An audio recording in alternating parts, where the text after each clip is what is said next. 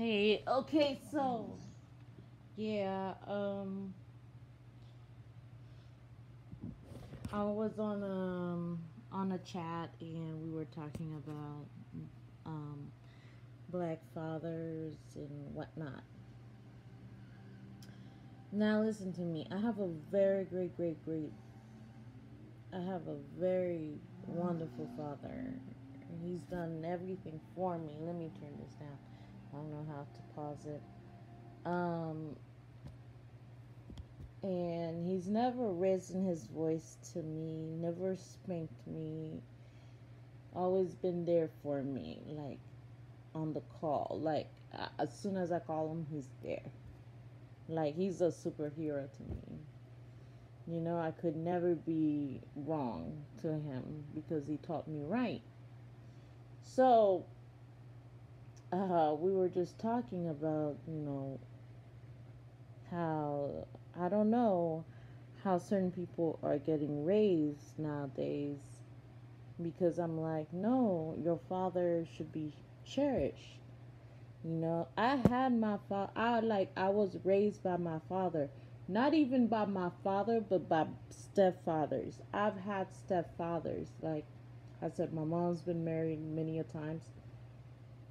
They've never raised a hand to, they've never came at me wrong. They've only showed me enjoyment you know? They loved my mother to the fullest you know? I've never been disrespected by them. If anything if they were unhappy with the way i did things they would talk to my mother and my mother would relay that message which she would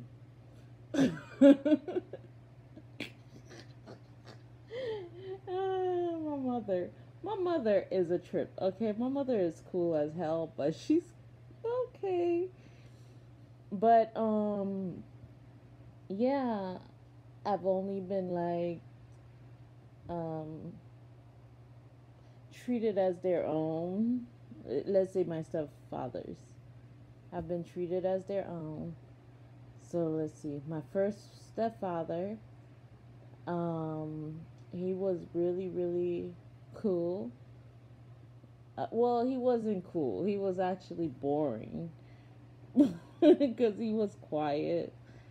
But he took care of business. He was a doctor. Um then there was the other one. Um oh no let's talk about the racy one. The racy one. He had like kids and oh man one of his children. Ugh. and she was my favorite one because i was overprotective over her. Because she cried all the time. And i felt her pain and emotions. But after a while i was like you are annoying the hell out of me real quick. But you know i didn't tell her that but she was scared of everything. She was scared of birds. She was scared of guns popping. She was scared of. I, she was scared of everything. So they'd be like, "Oh, take her," and she would cry all the time. So then she would come like, you know, run into my bed and say she had a nightmare. I'm like, "What is haunting you?" So we did a séance. This is my sister and I calling ourselves um, enchanting our grandma because the grandma used to pray over us before sleep. And so we did the same things grandma would, would do, you know, put the little oil over her forehead, put the Bible under her bed. She slept soundly. I was like, this shit works. And I'm like, I don't like doing magic, but it works.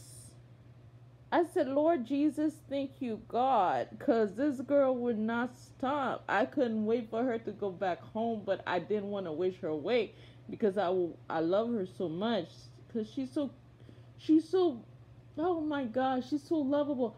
And then I'm, because she would just do like the weirdest things, and then I'm like, I like that.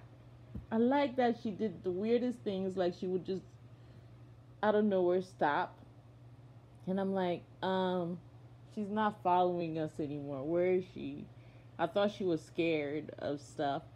And she was just stop and pick a flower and be like, I got this for you, GeGe. Or I blew this big old bubble for you, GeGe. Or I made this balloon for you, GeGe. And I'm like, this kid, uh, this is my little sister, and I love her so much. Where, you at, girl? Holla.